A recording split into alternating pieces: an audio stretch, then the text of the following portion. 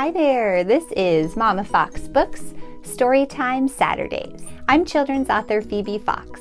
Thank you so much for joining me today. We're going to read a book from a series called Science Wide Open. And this book is called Women in Chemistry.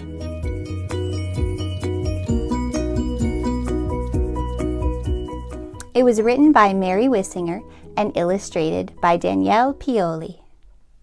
Let's get started. What's the world made of? Now that's an awesome question, one that people have been asking for thousands of years.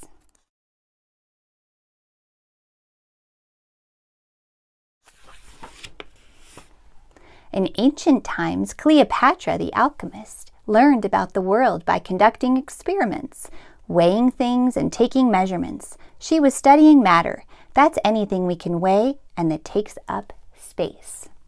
She also tried to turn ordinary metals into silver or gold.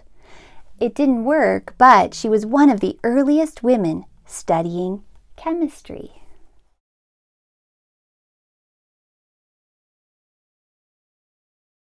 What's chemistry?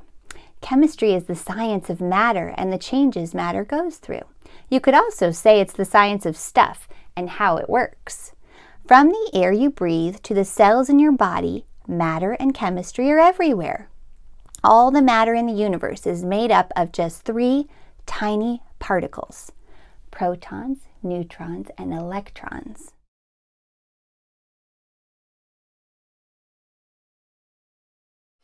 Really? Even me?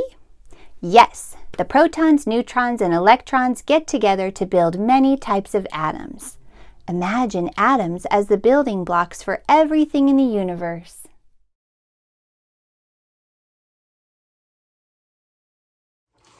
Groups of the same type of atom are called elements, and Marie-Anne Paulze Lavoisier helped write about them in the first modern chemistry textbook. Her drawings showed people how chemistry experiments worked. The book also had a list of elements like oxygen, hydrogen, and carbon, which are on our periodic table today.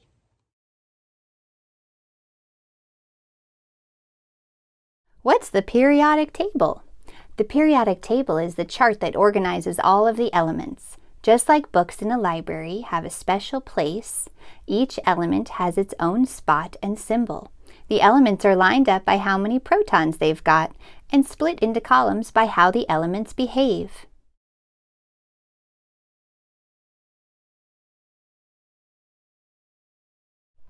Have we discovered every element that could ever exist? Not yet. Dawn Shaughnessy is working to find new ones. She leads a team of scientists that has discovered six new elements so far. Using a high-powered machine called a cyclotron to smash atoms together, she watches to see if the atoms combine to form a new element. These elements haven't been seen before on Earth, and it can take years to prove they exist. Some of them, like livermorium, exist for less than a second. Most elements last longer than that, though.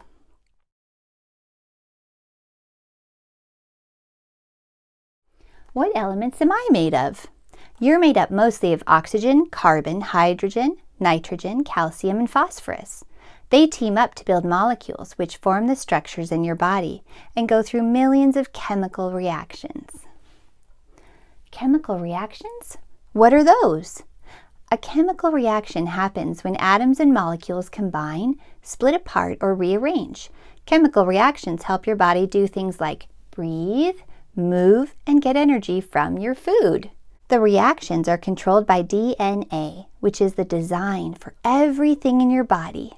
DNA is shaped like a twisted ladder called a double helix, but we didn't know what it looked like until Rosalind Franklin.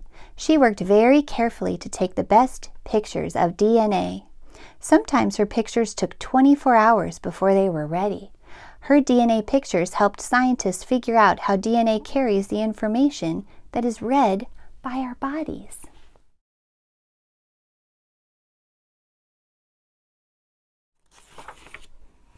How can my body read DNA? Ada Yonath figured out how our bodies read DNA.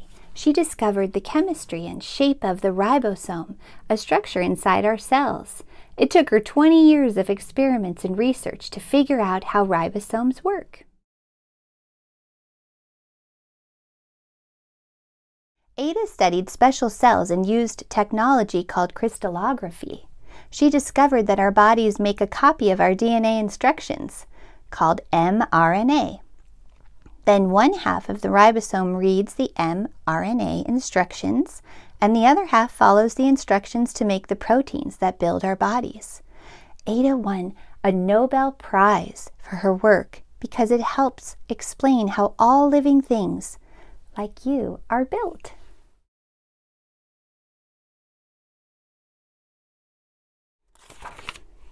How did she know where to look for the ribosomes? Ada was inspired by reading about polar bears. When polar bears hibernate for the winter, their ribosomes pack together and get ready to build proteins in the spring.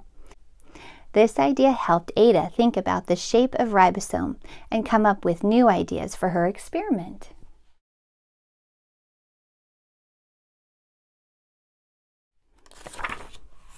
Chemists, like all scientists, are curious and get their inspiration from almost anywhere.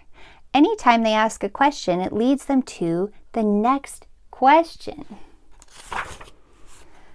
Like me, I'm already a chemist. Yes, you are. When you ask a question and look for an answer, you are already a chemist. And here's the best part the whole universe is your experiment.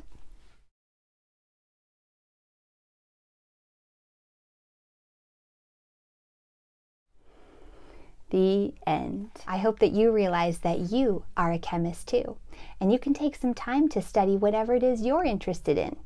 If you do an experiment, make sure to leave a comment and let me know what it was like, and I'll see you next time.